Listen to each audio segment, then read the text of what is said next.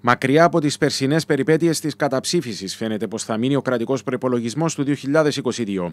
Πληροφορίες που συνέλεξε ο Αντένα αναφέρουν ότι σε αντίθεση με πέρυσι, το Δίκο θα υπερψηφίσει τον προπολογισμό του 2022, εκτός και αν υπάρξει δραματική διαφοροποίηση στο παρασκήνιο. Κάτι το οποίο δεν διαφαίνεται την ώρα που πηγές από τη Βουλή σημείωσαν ότι δεδομένο θα πρέπει να θεωρείται και το σταύρωμα αριθμού κονδύλιων. Κατά τη χθεσινή τη συνεδρία, η Επιτροπή Οικονομικών του Σώματος εξέτασε τις 150 περίπου τροπολογίες που είχαν καταθέσει τα κόμματα συμπτύσσοντάς τη στι 50. Στην πλειοψηφία τους, τα κόμματα ζητούν σταύρωμα κονδυλίων, ούτως ώστε να αποδεσμεύονται μετά από έγκριση της Βουλής, κυρίως σε ό,τι αφορά την αγορά κτηρίων για κρατικές υπηρεσίες, αλλά και για μισθούς ειδικών συμβούλων τόσο στο Προεδρικό όσο και σε Υπουργεία και Υφυπουργεία.